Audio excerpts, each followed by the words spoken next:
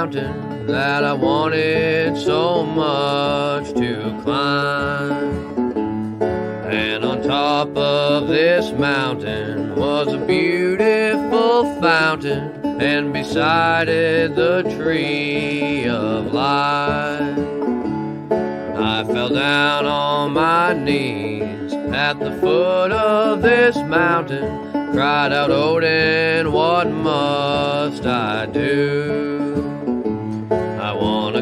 Climb up and see, wanna learn from this tree that grows so clear in my view.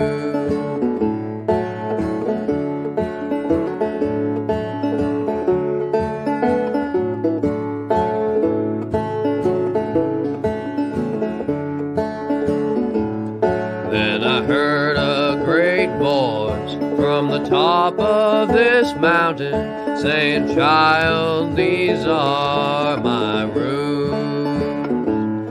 Just start with Fehu then climb on upward between the etheric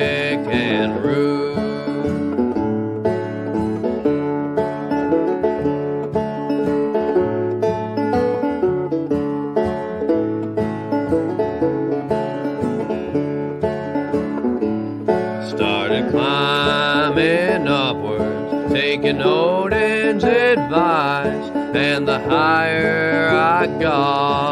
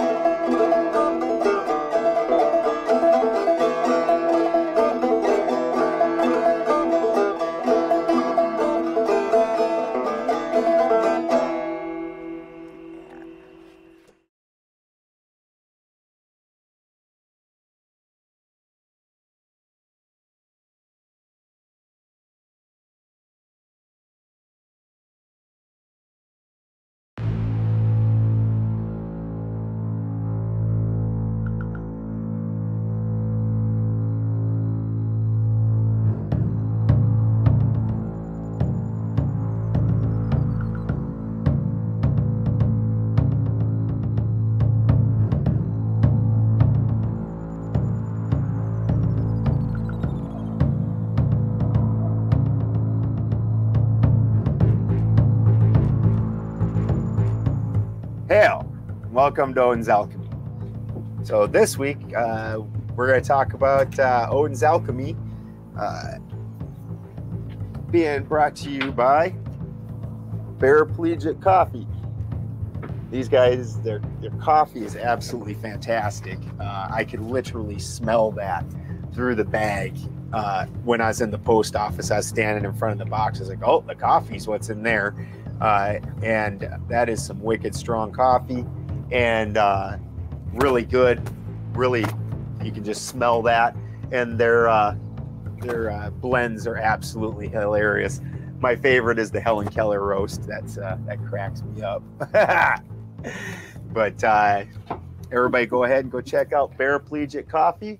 Uh, if you want to order some it's 410-708-7622 and uh, support the Bears because that is just an absolutely fantastic community that is out there trying to uh, develop a different world. So, love you guys. Today, we have the great pleasure of the return of Rachel. She is uh, going to be with us for the duration, and Rachel and I have decided we're going to go through the uh, Poetic Edda and uh, some of the other uh, Scandinavian, Germanic, uh, Old Norse uh, books and go through them, read the stories like I had started to do, only with uh, Rachel's perspective added. So it's not just this overwhelmingly masculine perspective and uh, the attempted uh, horrible guess at the the feminine side of things. so we get the pleasure of Rachel, and also we uh, Rachel and I have decided that we're uh, going to go through different books, also.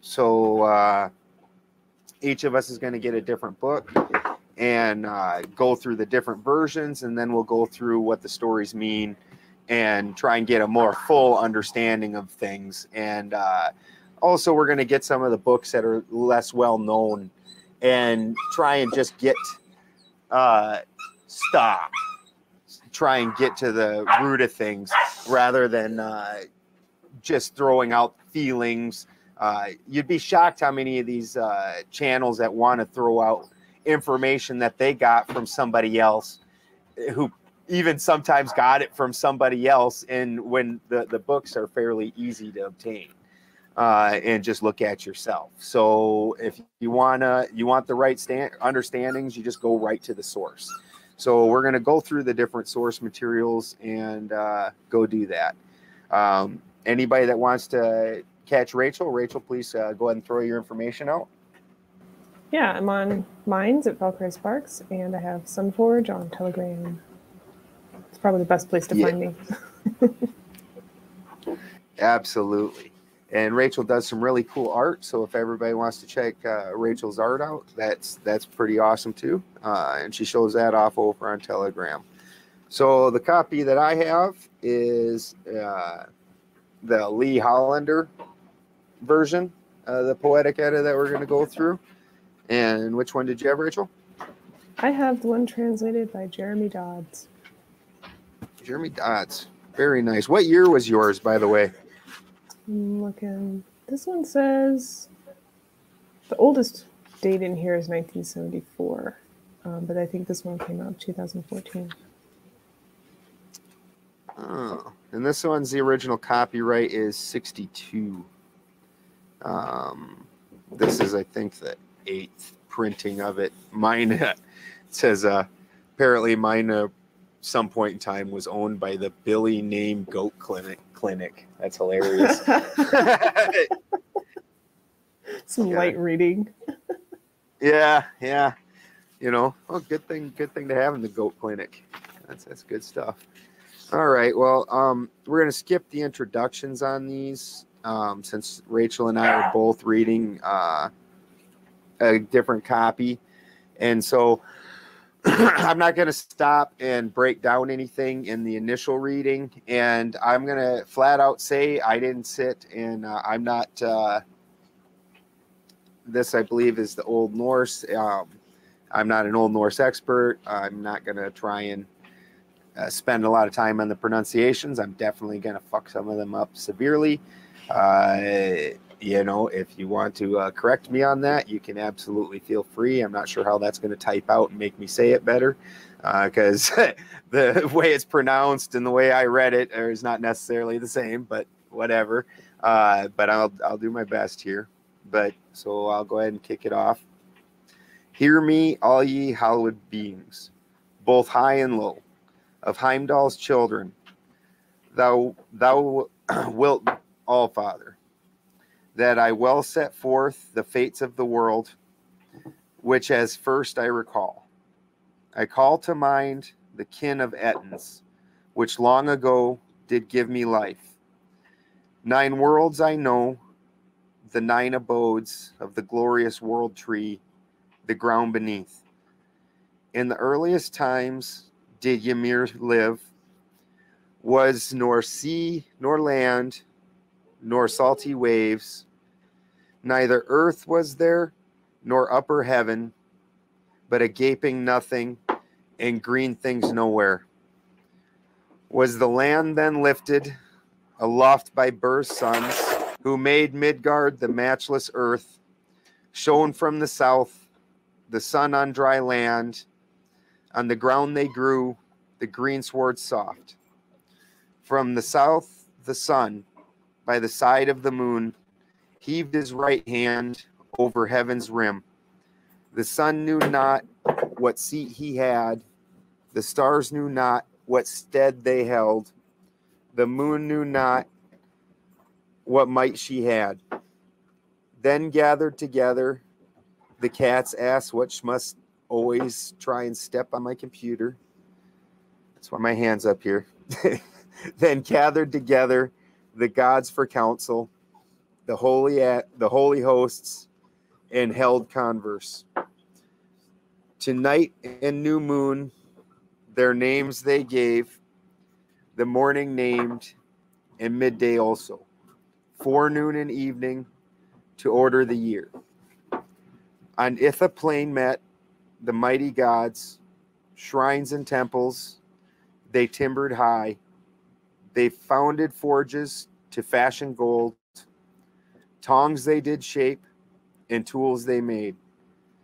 Played at draughts in the garth.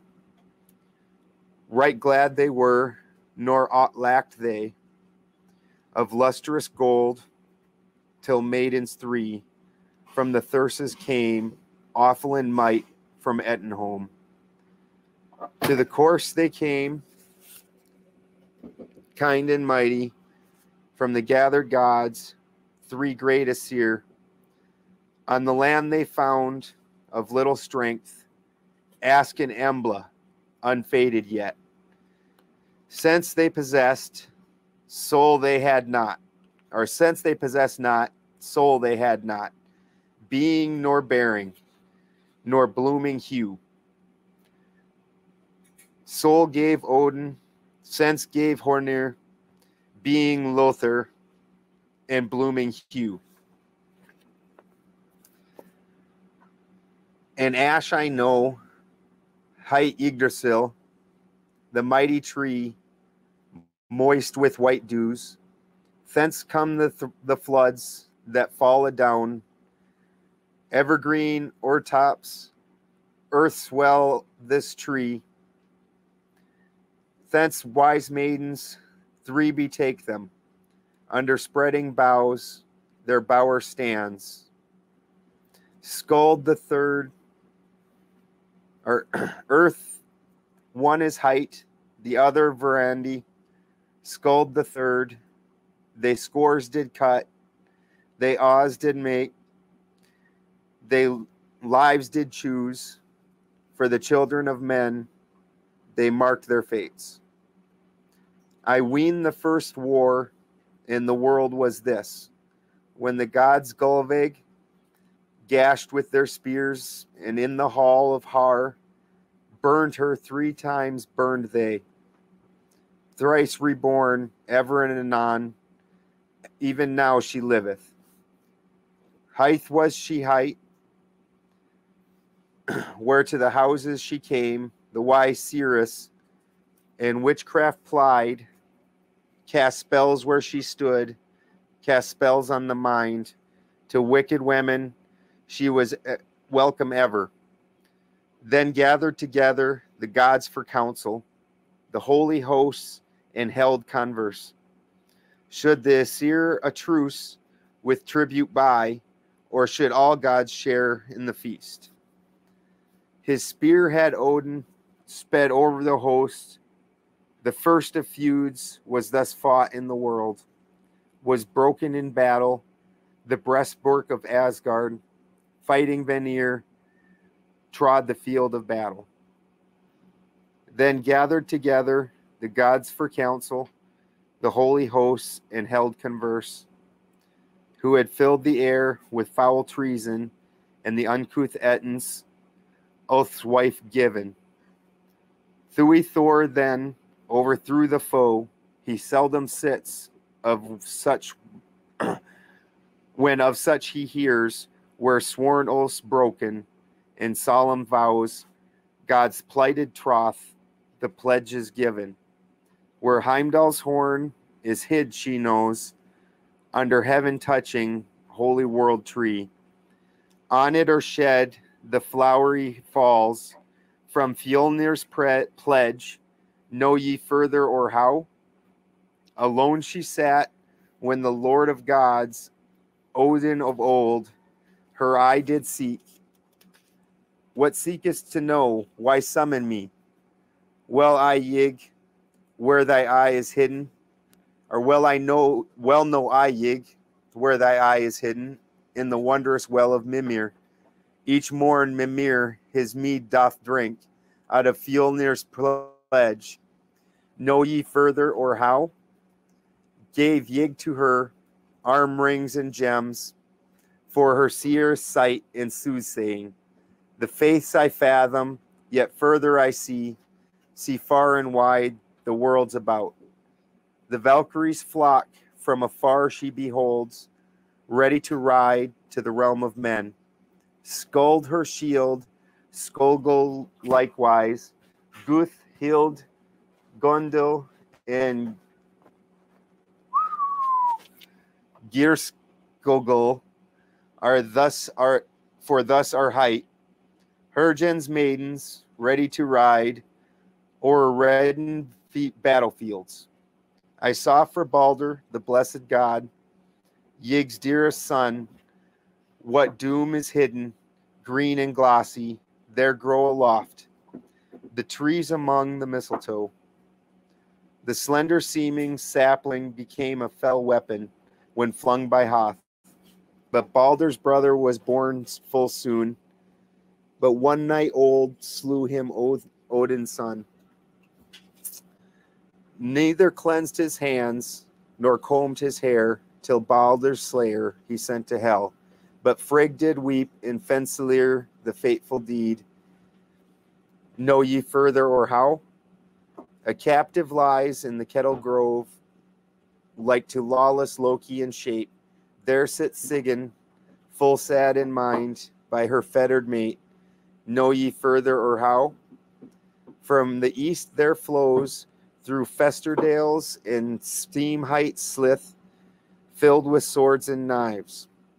Waist deep wade there through water swift, waste waste worn men and murderous eke those who betrayed a trusted friend's wife. There Nas Nithhogg, naked corpses, there the wolf rends men. Wit ye more, or how? Stood in the north on the Nitha fields, a dwelling golden, which the dwarves did own. Another stood on Ulknir, that Eden's beer hall who is Brimir High, a hall she saw from the sun so far on the strand's shore, turn north to its doors, drops of poison drip through the louver. Its walls are clad with coiling snakes. In the east sat the old one, in the iron woods, bred there by the bad brood of Fenrir. Will one of these, worse than they all, the sun swallow, in a seeming in seeming a wolf. He feeds on the flesh of fallen men with their blood sullies the seat of the gods. Will grow swart the sunshine in summers thereafter, the weather woe bringing. Do ye whip more? Eh, or how? His harp striking on hill, there sat gladsome Eggther, he who guards the ogress over him over him gaily. In the gallows tree crowed the fair red cock, which Fjallar height. Crowed o'er the gods, Gullinkambi wakes wakes the he- wakes he the heroes who with Herjan dwell another crows the earth beneath, and the halls of hell, of hue dark red. Garm bays loudly before Gnipa, before Gnipa cave, breaks his fetters and runs free and freely runs. The fates I fathom, yet further I see of the mighty gods the engulfing doom. Brother will battle to the bloody end, and sisters' sons their sib betray. Woe, woes in the world, much wantonness, axe rage, sword rage, sunder she- sundered shields, wind age, wolf age, ere the, wor- the world crumbles. Will no spear of man spare the other? Mimir's sons dance, the downfall bodes, when blares the gleaming old Gjallarhorn. Loud blows Heimdall with horn aloft, in hell's dark hall horror spreadeth. Once more Odin, with Mim's head speaketh, ere Surt Sib swallows him. Trembles the towering tree Yggdrasil, its leaves sough loudly. Unleashed is the Etten. What ails the Aesir, and what the elves?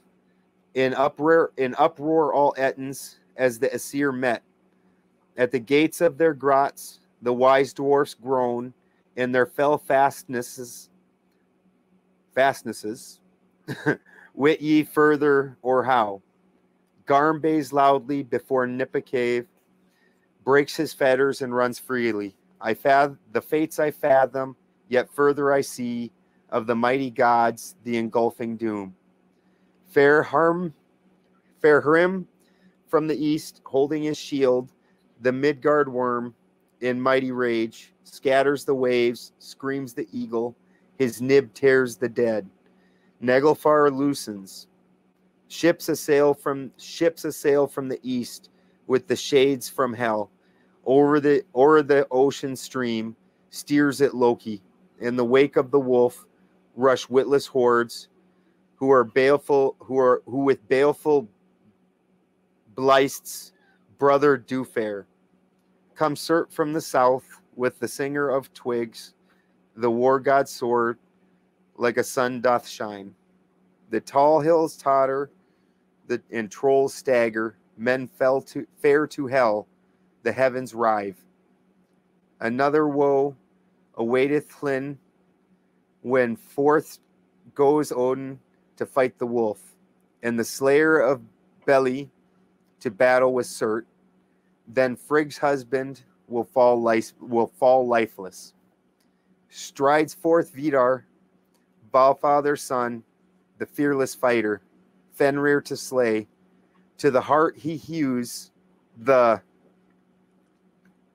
Veth Vethrung's son, avenged is then Vidar's father. Comes then Mjolnir, mighty wielder, gapes the grizzly. Earth girdling serpent, when strides forth Thor to slay the worm. Mighty mauls Midgar's water. Shall all wights in the world wander from home? Back falls nine steps. Fjorgyn's offspring, nor fears for his fame from the frightful worm. Neath see the land sinketh, the sun dimmeth, from the heavens fall, the fair bright stars gusheth forth steam, and gutting fire to the very heaven soar the hurtling flames. Garm bays loudly before the Gnipa cave, and puppies fight fiercely in the spring morning. Garm bays loudly before the Nip, Gnipa cave, breaks his fetters and freely runs. The fates I fathom, yet further I see of the mighty gods, the engulfing doom. I see green again with growing things. The earth arise from out of the sea.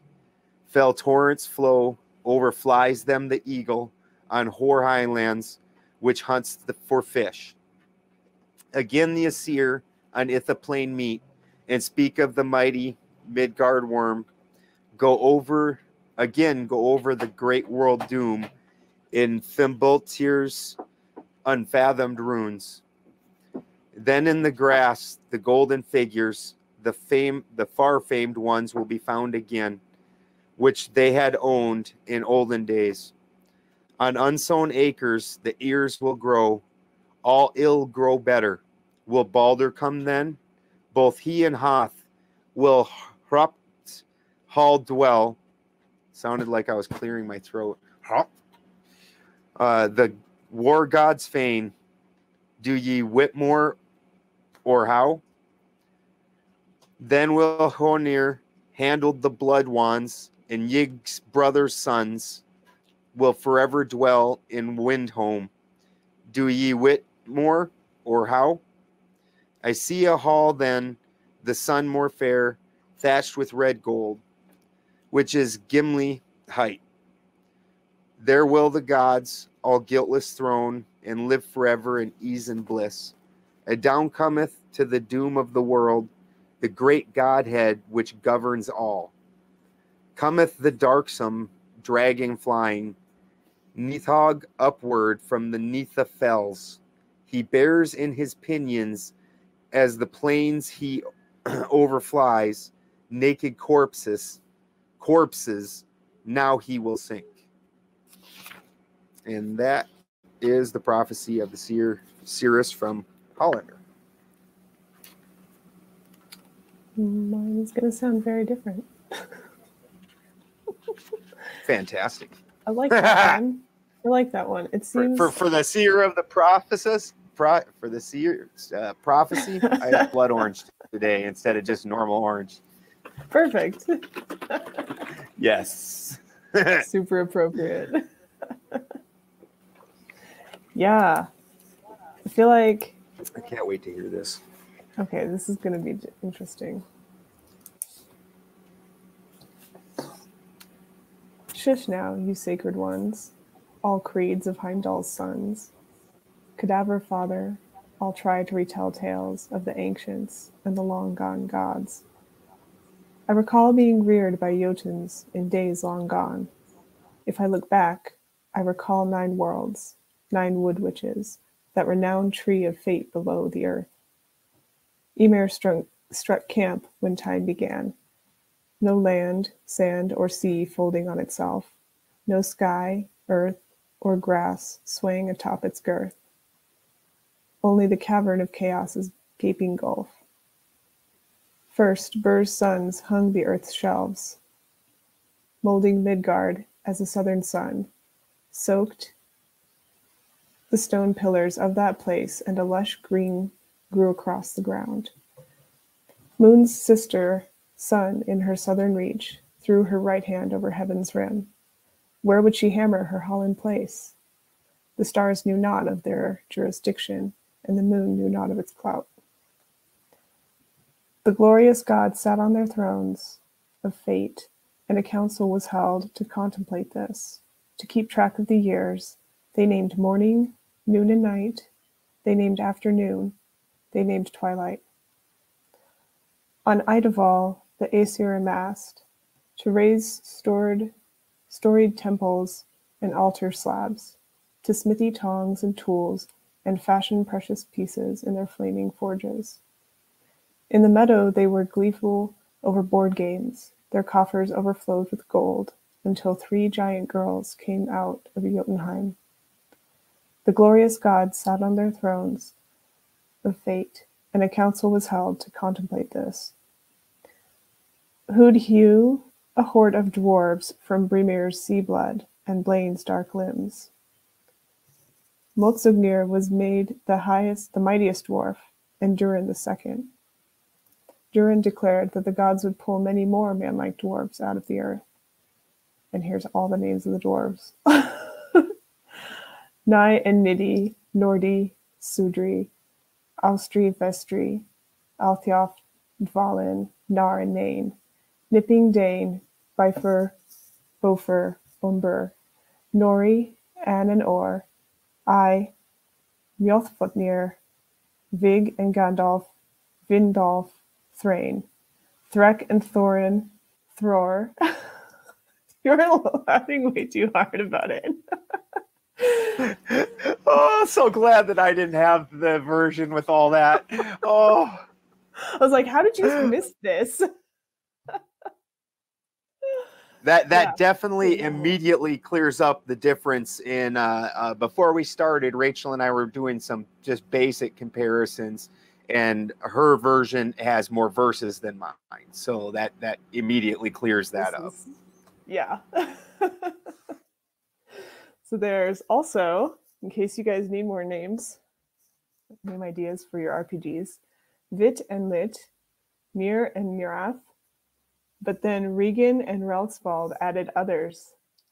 Fili, Kili, Fundin, Nali, Heptaphili, Hanar, Spire, Frar, Hornbori, Freg and Loni, Arvang, Yari, and Eikenskeldi. And that's Valin's dwarf throng.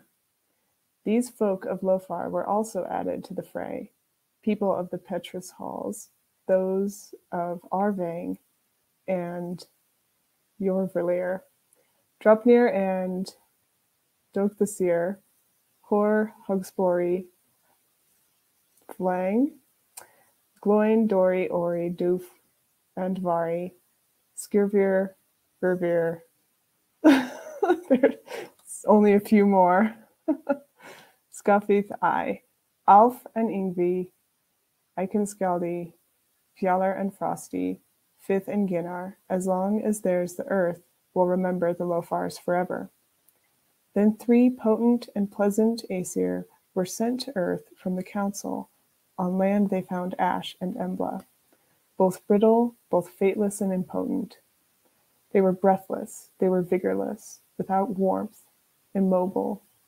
So Odin gave breath, Heinir gave zeal, and Lodur warmed them, brightening their complexions. I know of an ash called Yggdrasil, that one tree, a sky-high tree mired in white muck. From it drop the dews that drench the valleys.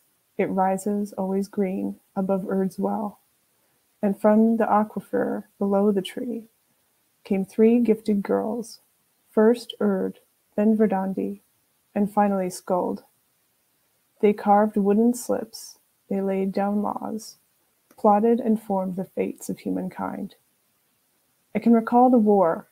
They filled Gullveig full of spears, dragged her to the High One's hall and burnt her.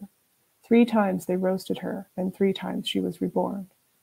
When she turned up at their houses, they'd called her Heid, a sorceress with foresight, making magic when she wanted, making trans magic. She had a way with wands. She was adored by wicked women. The glorious gods sat on their thrones of fate, and a council was held to contemplate this. Are the Aesir expected to share their tributes, or are all the gods to make sacrifices? Odin flung his spear into the heart of the horde, and the first war of the world began. The Vanir burst the Aesir's buttresses, and with war runes bound across the plains. The glorious gods sat on their thrones of fate, and a council was held to contemplate this who had offered Od's bride to the Jotuns and corrupted the entire sky with cruelty. Wrath-swollen Thor alone swung the blows that toppled his foes, not one to rest when he'd heard oaths, affidavits and solemn vows shattered, all that's pledged between allies soured. Heimdall's hearing is hidden beneath the dazzling divine tree. This she knows, this she sees, a muddied river raging from the cadaver father's oaths. Now do you know or not? She sat out alone when the old one came. The terror from the Aesir leered into her eyes and said, Why do you hound me so? Why do you ask me? I know all. I know your eye is hidden in the famous fountain of Mimir. Mimir swallows the mead of Odin's creed each dawn.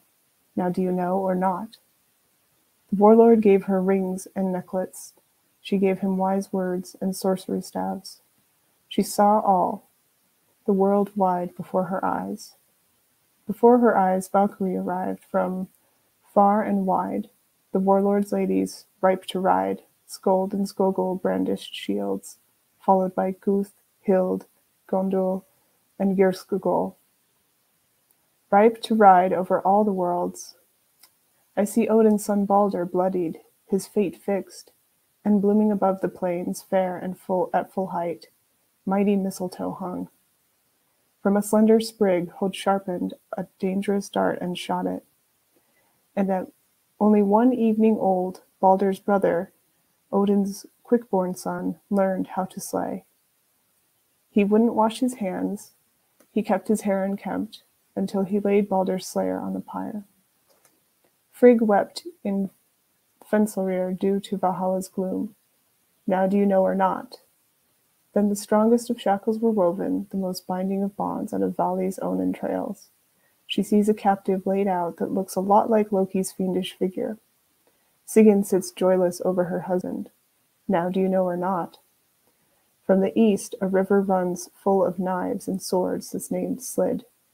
In the north, on Nidavellir, sat a golden hall raised by Sindri's kin.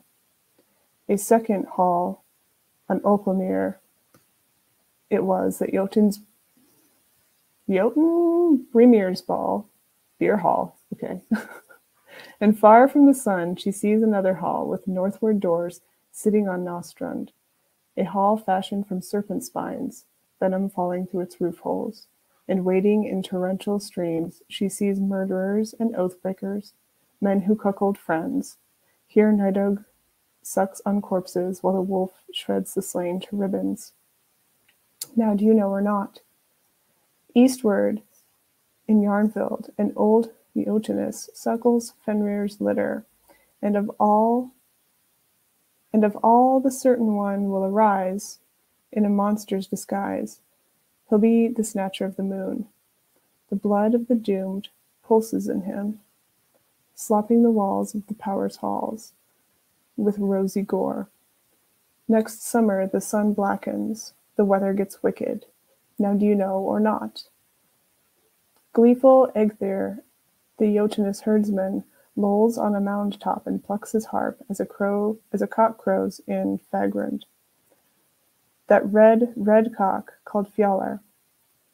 There Gullinkambi crows over the Aesir, waking the warlord's warriors, and yet another cock bawls beneath the earth. A scorched red cock in the halls of hell. Garm howls at the mouth of Niflheim, and the ravenous one breaks his bonds and bounds free. She is full of wisdom. Can I I can see farther still, to the fate of the grim triumph gods. Brother getting brother, sister, brother on sister, violating bonds, and hardening the world further with whoring. Wolf time, wind time, axe time, sword time, shields high time, as the world shatters and no one is spared by anyone.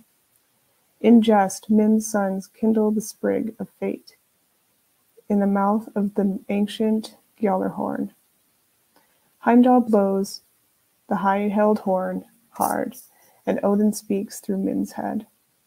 And the upright ash Yggdrasil quakes, and the ancient tree groans as it births a Jotun. Those on the hell road are fearful as Surt's kin swallow it whole. And what of the Aesir? What of the elves? All of Jotunheim moans. The Aesir go to council. Dwarves whisper before their stone doors, these lords of the cliff face. Now do you know or not? Garm howls at the mouth of Nibfalir, the ravenous one, breaks his bonds and bounds free. She is full of wisdom. I can see farther still to the fate of the grim triumph gods. From the east Hrym drives with his shield before him. Jormungandr flails, making waves. The eagle screams and with its pale beak rips corpses, while Mjugfar Mjolgfar slips its moorings. From the east Loki will helm that ship across seas with Muspel's horde on board, all those monstrous kin along with the ravenous ones, and Byleist's brother among them, Surt arrives from the south with a branch breaker, the cadaver's son shimmering off his sword. Cliff walls smash, troll brides smash. Warriors go under the hell road as skies cleave. Then the second of Frigg's grief occurs when Odin goes against the wolf. The bright slayer of Beli goes against Surt, and all Frigg's cherished ones fall. So the warlord's son Vidar goes against the slaughter beast, he sinks his sword into the heart of Loki's kin, avenging his father. Then the earth girder gapes over the entire sky, jaws wide in doomful yawn. Odin's son Thor goes against the serpent, when Vidar's father is slain along the wolf.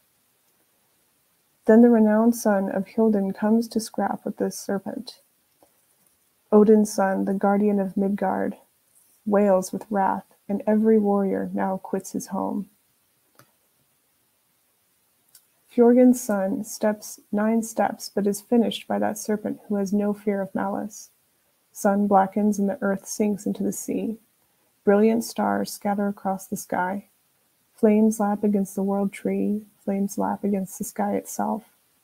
The hound Garm howls at the gates of Niflheim, breaks his bindings and bounds free.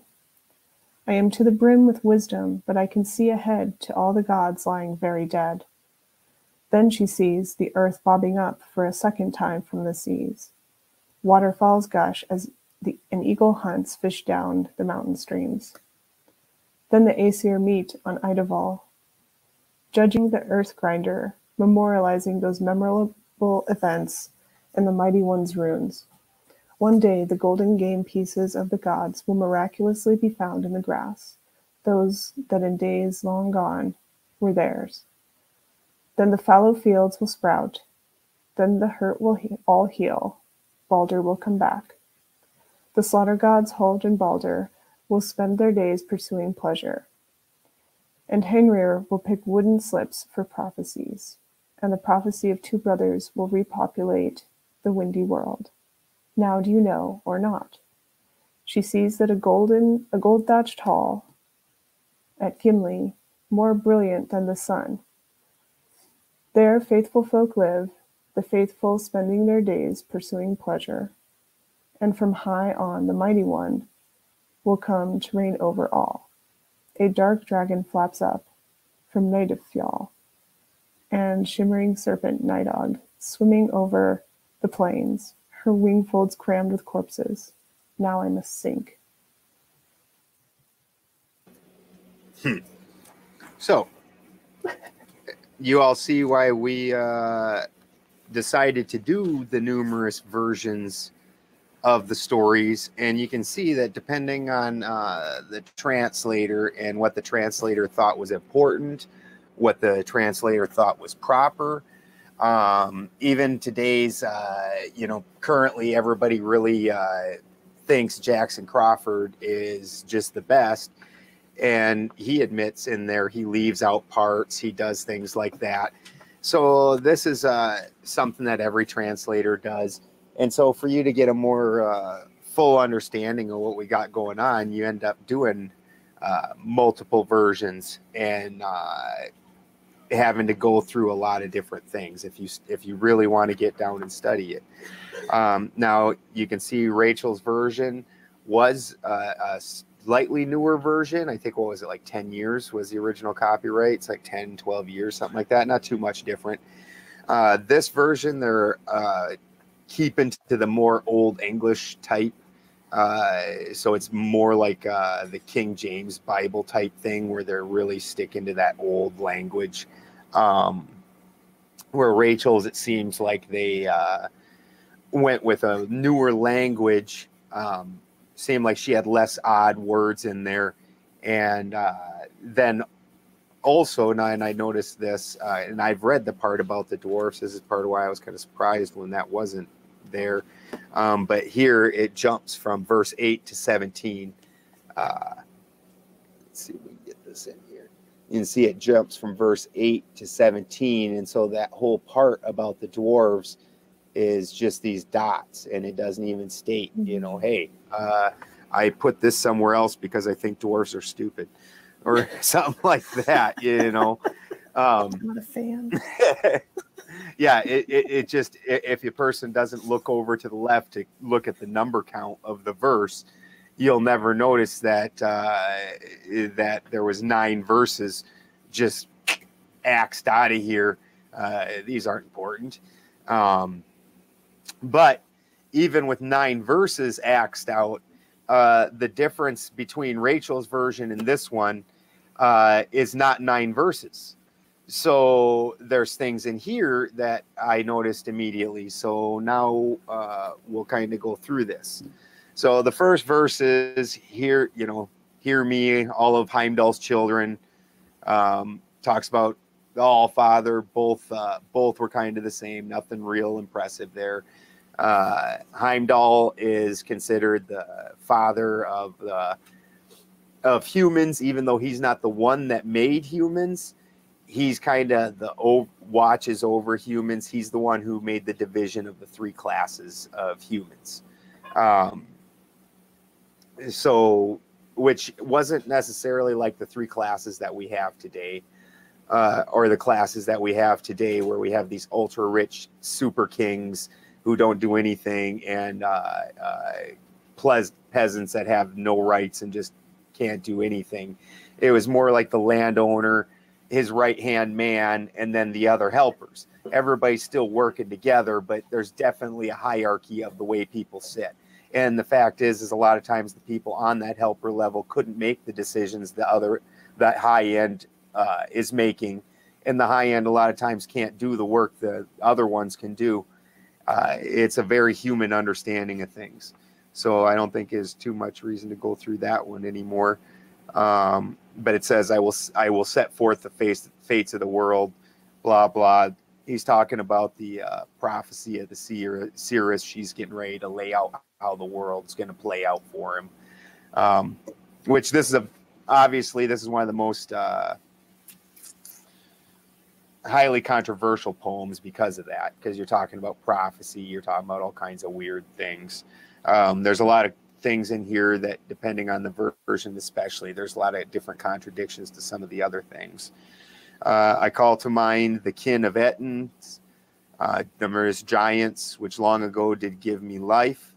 Nine worlds I know, the nine abodes of the glorious world tree and the ground beneath. So it's just explaining uh, uh the way the world is set up currently. And your version's about the same for that second verse, Rachel? Yeah, I think for the second one. Because, yeah, because he talks about being reared by giants. Okay, mm-hmm. Mm-hmm.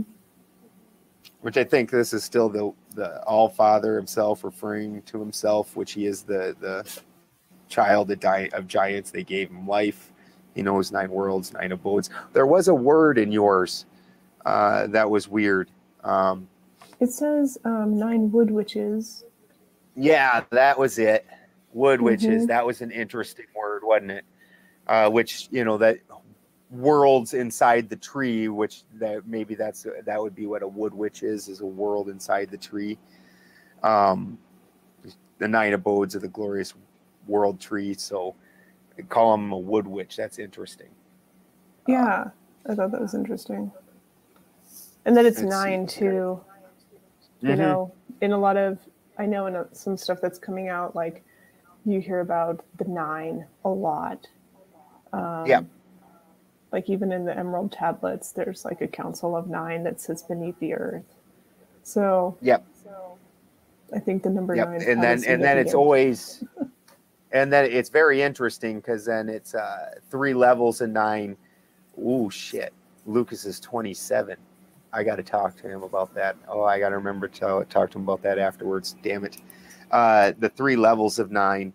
Uh, oh, damn it. That got me I'm all gonna write it down anyway. Thank you. I was just doing uh, math stuff last night, so this is fresh in my brain. but uh, yeah, and then eight is also then mentioned a lot of times in the in the heathen cosmology because then eight is you're standing on one of the worlds. There's eight paths. This is why Sleipnir has eight legs things like that because there is nine worlds but from one of those worlds there's only eight other worlds to go to so there's eight paths um, in between them you're always having to be standing on one and you're the ninth in that case. So th- this is a very uh, typical occult thing uh, that movie I just watched on uh, Jared's show, which if everybody hasn't checked out Jared's show, it's uh, Conspiracy Cinema. Um, and he had me watch this uh, movie, and then this was nine people that went up and tried to go through the test and all that. So that was interesting too. So then the third verse is in the earliest times, Ymir lives. Uh, there wasn't sea or waves, earth, heavens. There wasn't any of that stuff. So that's pretty simple. Um, not really much to it. Uh, this was it's talking about uh, Ymir lived, so the the Muspelheim and Niflheim had already been pulled together, but it's from the pieces of Ymir that uh, the world was crafted. So they're talking about approximately that time period. Um, was the land then lifted aloft by Burr's sons, uh, who made Midgard, the matchless earth, and shone from the south the sun on dry land. On the ground then grew the green, the green sword soft, which uh, y- your wording was really interesting too. I caught that again right away. It sounded the two verses were very similar in that. So this is one of the things that's going to be interesting because later uh, it switches over to Odin, Hornir, and Lothur but here they're talking about Odin, Vili, and Ve, the three sons, uh, as Burr's sons. so it's very interesting. This is where you start seeing some of the oddness that comes out in some of these translations. Um, but that's who they're talking about is Burr's sons um, from that, and that he they made Midgard, and here's some of the pieces of Midgard. Uh, that's about your fourth verse. Um, I feel like it kind of bounces a little bit, but yeah, it's about the fourth, and then it talks about um, the sun and the moon through five. Yep, yep. I got sun five? and the moon through 5 Mhm.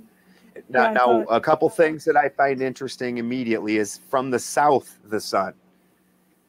Mhm. So, by the side of the moon, where n- normal thought process is, is that the moon, sun and moon would be to the north, that they would be up, up is north. That's our typical thought process. I think I find that absolutely fascinating. And then uh, we have talked a little bit, uh, not on shows, just in private, about the Bock saga. And one of the things I find fascinating in the Bock saga is, according to them, Asgard is down uh, Helsinki.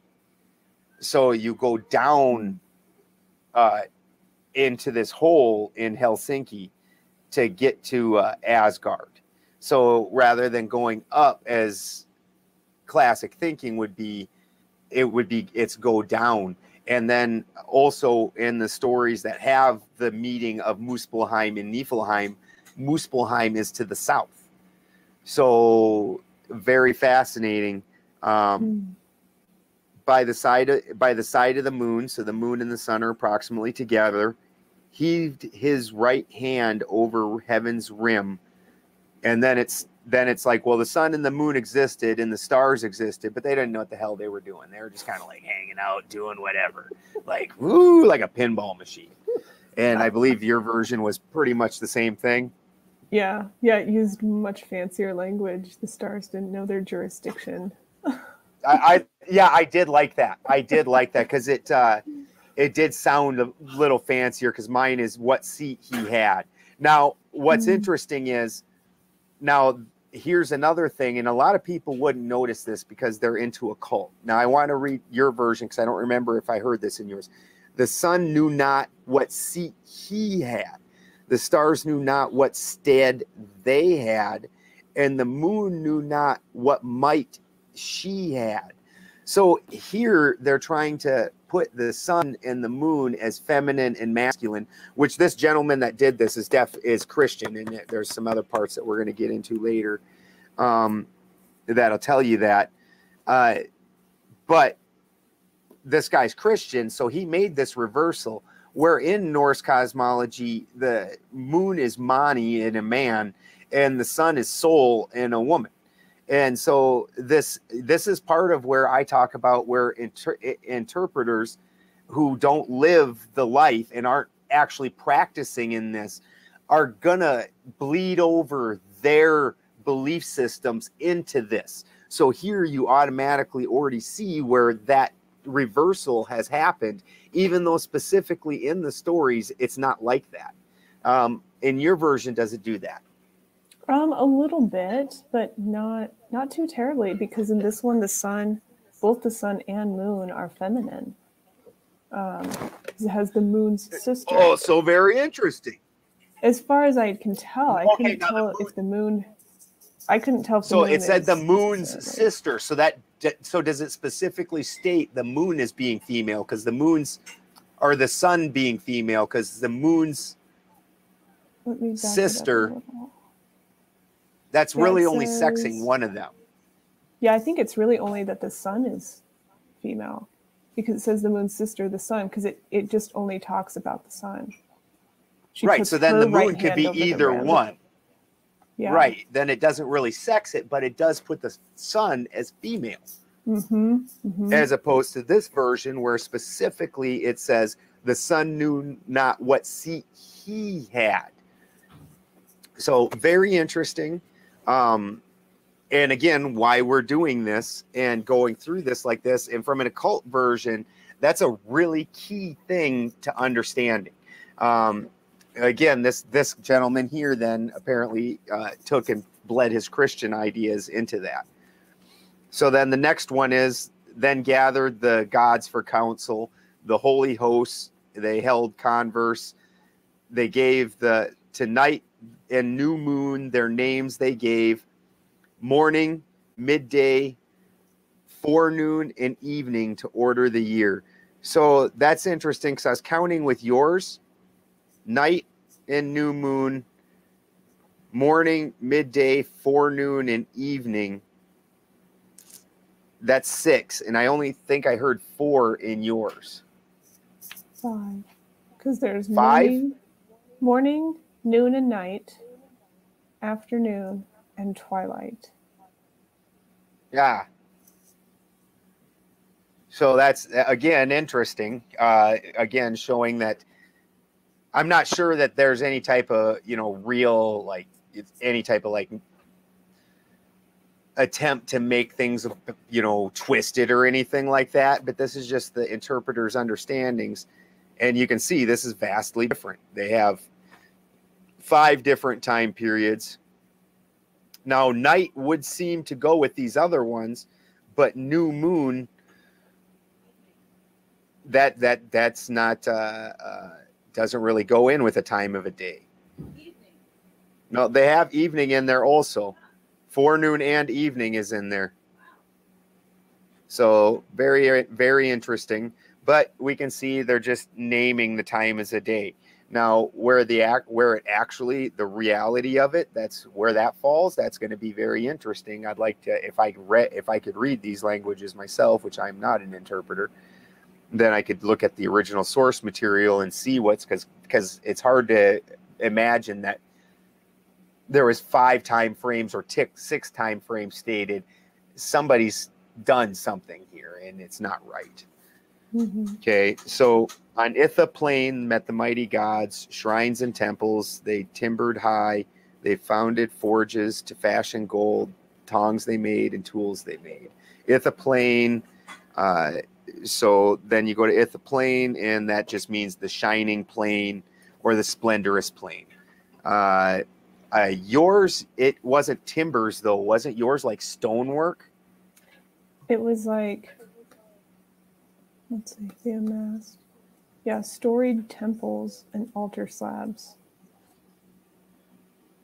See, I got shrines and temples, but then I've got they timbered high, which would make you Mm. think like a, a, a more of a a great hall, a great Mhm. a great wooden hall, not necessarily where yours. I guess I more envisioned stone temple type things, not really specifically wood.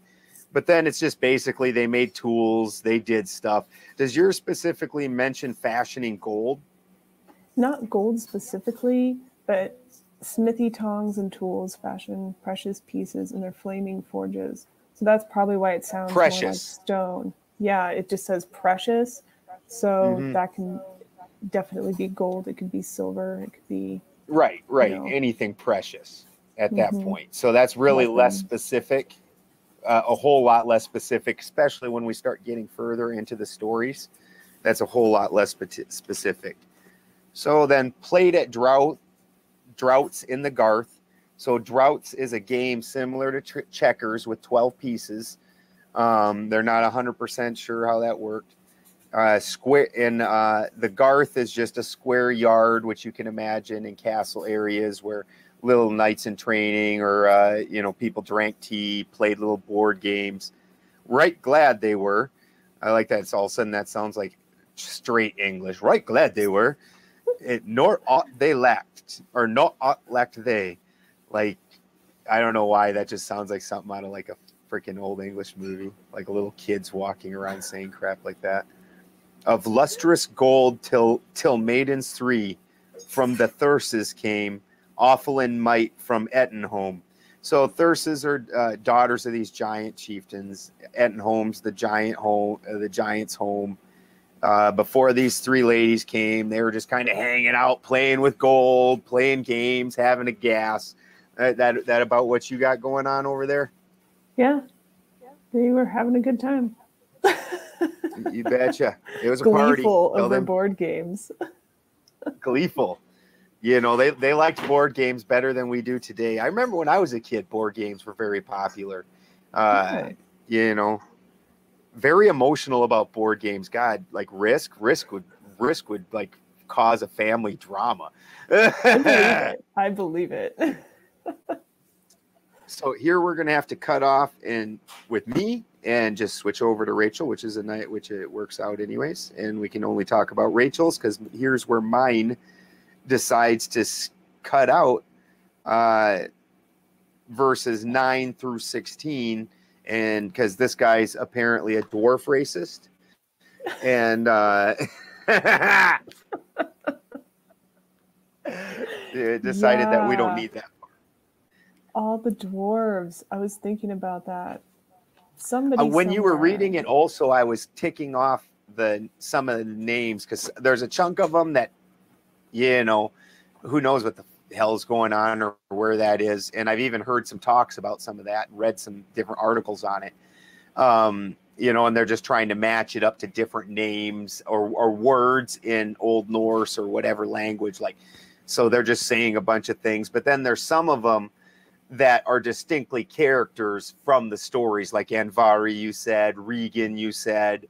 Um, and those are uh, from the story where uh, Odin and Loki uh, go and uh, kill the otter and then end up getting uh, Andvari's hoard to uh, Regin's father.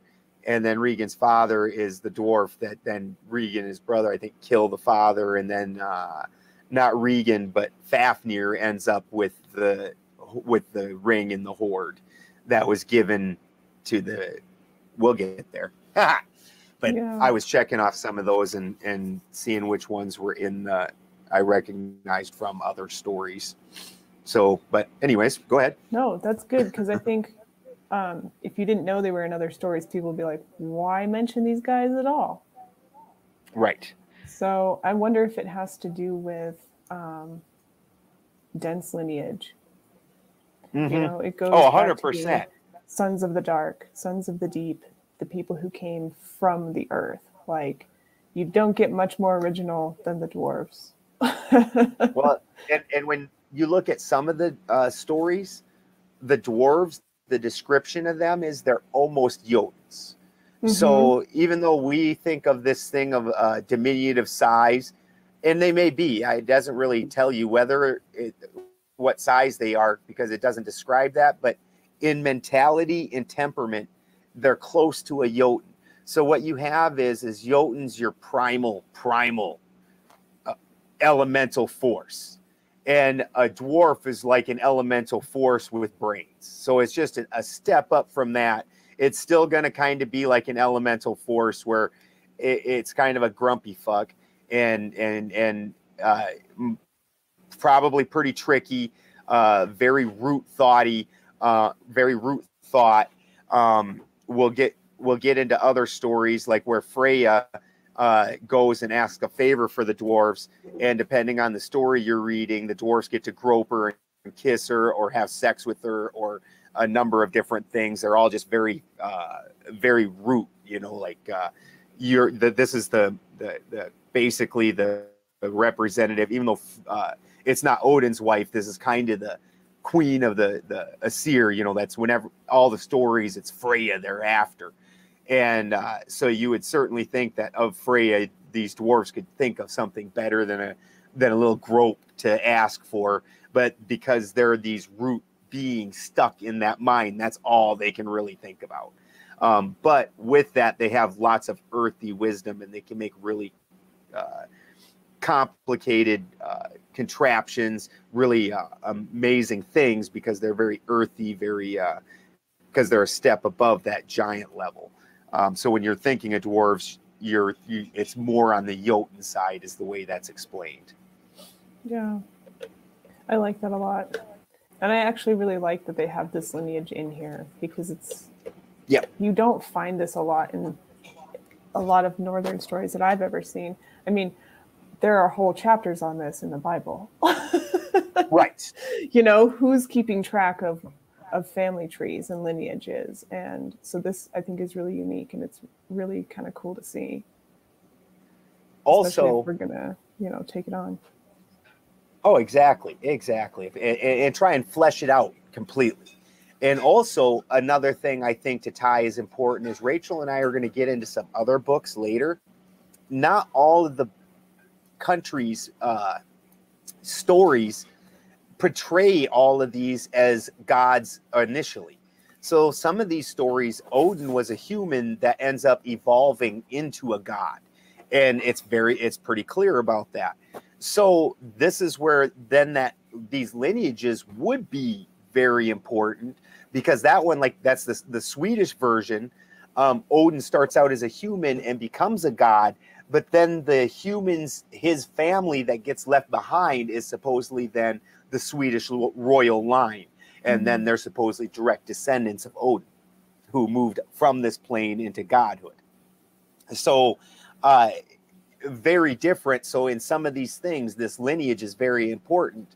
And in the Bible, it's very important because a lot of people don't realize that, like that Old Testament, only Hebrews are the chosen ones of their God. And so, if you aren't born of that lineage, you aren't one of them and you're just here to be a goyim or a slave to them. And so that's a very important thing to them. And then not only does that keep track of that but then inside of that there's also the inheriting line and the non-inheriting line who have different functions so the inheriting line is going to be the royal line. And then as the brothers and sisters who aren't inheriting of the royal line expand out that tree, they're still going to be inside that overall umbrella. But now they quit being the royal line and they're now a descended line. And these are vastly different things. And that all gets broken down inside that and a lot of people look at like these wars in the Middle East and things and don't understand that a lot of times that's the what these fights are is uh, different family lines breaking off and then claiming they're the royal line or they're the better line. And then even further, you have lines that are like, you know what, we don't even care about that. We just we're just we're the we're the uh, uh, uh, special ones where that like in Christianity that is called the uh, Melchizedek, the order of Melchizedek. Mm-hmm. So where there doesn't have to be a blood tie, you are chosen because of some spirituality you've exhibited or or some other possible thing. Uh, so, but then that doesn't require the blood tie. And the same thing we see that in the Muslims with like the Shiite or the Sunni, uh, depending on whether the one set is are you a descendant of Muhammad? And the other set says you don't have to be a uh, uh, descendant of Muhammad. Blah blah blah blah blah. A lot of religious crap going on there, uh, all over. But these things are very very important uh, in almost every culture. So, with that, um, yeah, go ahead and throw out what you got here going on here, Rachel. The next one. Yeah, go ahead and uh, um, read your yeah. part because I talk too damn much. Oh, you're fine. No, that was really good. It's really important stuff. you know, every every culture has their bloodlines, and I think everyone wants to be able to trace it back to that beginning of the fractal. Right. I think that's where we're at and, now. And, is that you know we're on a fractal existence in a fractal plane, and we are yeah. really all one family. Um, being able to trace it back to the start is awesome, but it doesn't negate the fact that we are all actually we're still all part of those families. Like just that's just the truth. exactly. So let's see. Then it goes into. Then that's where it breaks in um, Odin and Vili and Ve, but it uses the different names Heinir and Lodur, which yep, now was interesting. And it does in this version also when it jumps to 18. Um, mm-hmm those are the three that are mentioned in the making of Ask and Embla. Now, when you look it up, most people tie Lothar to uh, Loki, and that's just a hmm. different uh, spelling of Loki, is what you find in most things. In fact, hold on. Um, do they have a cliff note or a little? Okay, so for 15, it says for Hornir and Lothar, His name and function has not yet been fully explained satisfactorily, nor has that of Lothar. Both possibly are hypostases of Odin, which even if you went with uh, uh, uh, Odin, Vilya, and Ve, that is my opinion. That that's a uh, this is before Odin went through the Odin test, and uh, he had three minds that were distinctly separate, and he hadn't merged them into one mind yet, and the three minds just were distinctly separate things. Um, so that's Hmm. where I stand with it, also. Uh, so, but then Hornir is apparently mentioned it, or is mentioned in a few other places. And like I said, there's spots in different cultures where then Lothar um, is in there. Uh, but mine doesn't pick them up until it starts distinctly talking. Is, are you are you talking about Ask and Embla right here? Are Mhm. they bringing up Ask and Embla already? Okay, so Yeah. then also mine uh, to the coast they came, the mighty from the gathered gods, the three of seer land they found and gathered. So then Ask and Embla they make from. Uh, so now they're talking about how they fashioned the first humans. Um, this is a phrase I thought was interesting in mine. It says, "Since, since they possessed not soul, they had not." So they ain't got no brains and they don't have a soul, um, nor be, being nor bearing. This was interesting. Nor blooming hue. That's a fascinating phrase because you know we're humans, and and a lot of people really get bent out of shape about the hue part. So, Hmm. so that that is, you know what I'm saying? A lot of people because then we're not one person because hue means color. Um, eh, so that is absolutely fascinating. That that's something that then blooming hue is something that was then passed on to these people, Yeah. making I you like a that. human. Yeah. Yeah, Yeah, fascinating. that you have color to you. You have, yeah, that's actually a really Mhm. beautiful description. life. It, it really Mhm. is. Um, now, with this, it's very interesting. So this is uh, one of the parts I really like looking at from a cult. Soul gave Odin. Now, whenever you're looking at any of these stories, uh, there's always a psychopomp, and like whether it's Hermes Trismegistus or whoever. Now, whenever they're talking about the psychopomp, the psychopomp is always the champion of the soul. So Odin gave the soul. And so that's absolutely fascinating. Now, when you're looking at a battery, the Odin then is representing the mercurial figure, the Mercury. And when you're looking at a battery, when the anode breaks apart, the electron jumps straight over to the cathode. The electron makes a beeline. That's the masculine side. It takes a direct, a direct route. The feminine side is what falls into that uh, uh, mercurial fluid, and then the mercurial fluid it carries it through over to the cathode. So that's what we're talking about here with the champion of the soul, is that uh, positive uh, ion rather than the electron side. Um, so it's absolutely fascinating. Um, so sense gave Hornir and being Lothar. Now, sense I would look at as as more of a wisdom. So when you're looking again with that positive thought, with the feminine side, it's your uh, uh, engineer mind, your higher thought. Uh, masculine is dense, is restricted, is stable. Feminine is, you know, radiating and wild and chaotic. That's where you get your change from, your new ideas. The masculine's about implementing them old ideas. So that's when they talk about common sense, that's usually somebody that knows how shit works. You just already know how things work. That's a wisdom, um, as opposed to a higher thought.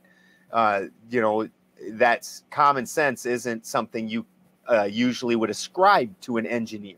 Engineers are usually head in the clouds. They have no idea how the world works, but they invent the coolest fucking things. Um, so sense gave Hornier, so you're looking at more of a, a, a salt mind, and then being gave Lothar and blooming hue. Now, I believe this would be in opposition to Ve, typically, the way most people understand the story.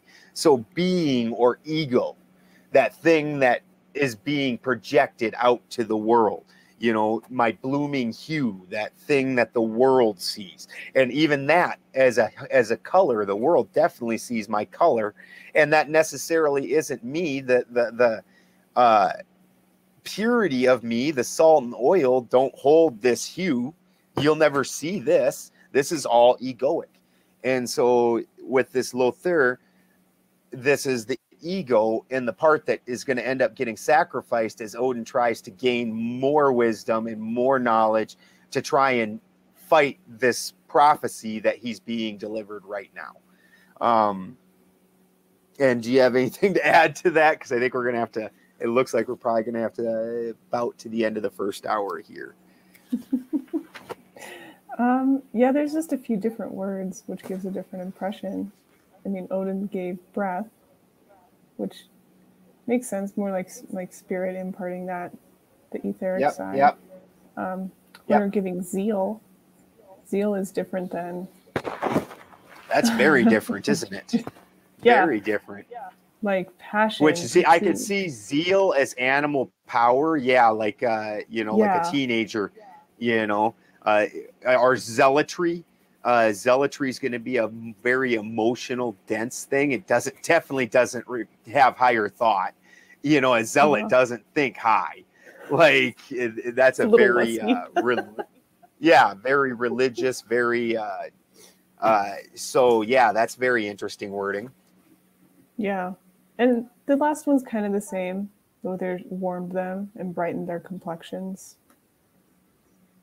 and brightened right. which which again when you look at a dead person yeah their complexion isn't like you would call rachel or i a white person but that's entirely different than a dead person who has that pallid pale like this isn't this is full of life and and you can see the life in it um it's it's fascinating yeah yeah that's about the only difference there but yeah i like the way yours words it a lot better it just sounds more beautiful. it, it, it, does in some cases, doesn't it? And yeah, it well, and then also, like I said, it just brings to mind the idea of human, um, which again, so many people get so bent out of that hue part. I've heard, I've even heard a lot of uh, conspiracy theorists say, "Don't say a human," because then that's just isolating you and breaking down into groups and blah blah blah, and we're all one. Yeah, yeah, yeah. No, very that that that they get very triggered. Um, say planet one time on a show. Woo! yeah, they get butthurt about that one. Like, like you know what? I've been calling it a planet. You know, you know, all of us. Eh, none of us made it through high school thinking the Earth was flat. We didn't come to that until the last, you know, whoever, ten years at the most, probably that people are coming to this information but you know so at my age that leaves me 36 years even if i started 10 years ago that leaves me 36 years of calling them planets that's just the what happens like but whatever and so um, now in your version when with uh, nordri sudri um, with the directions were those those were part of a clan uh, a specific clan I feel like they were. I feel like they were. Um, let's see. Yeah, because it talks about Yggdrasil over the well and the fates. Yeah, I got that. I get that part. It's it's interesting the, the, way they kind of. Yeah, some of it got a little bit swapped. Um, then they talk about Gullveig. Yeah. Okay, we can pick up there.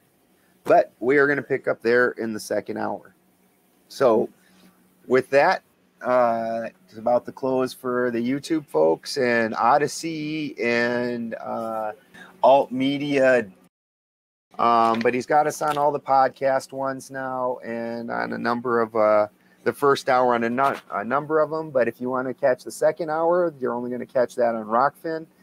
And uh, Rokfin is absolutely free to view if you want to come over and watch that second hour, all you got to do is click on click on the Rokfin link. It's 100% free. If you want to leave any comments, chats, uh, tell us uh, whether we're pronouncing things horribly wrong and we should have our tongues removed from our heads.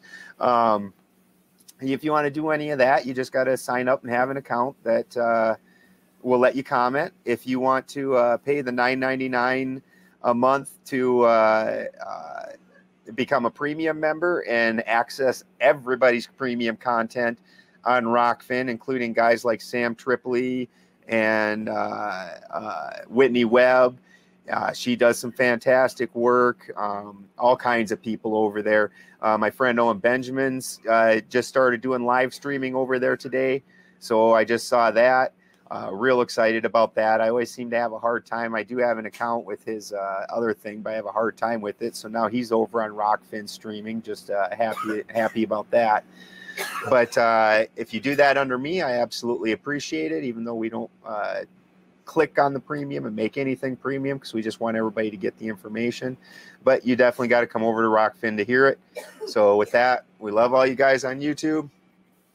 See you later.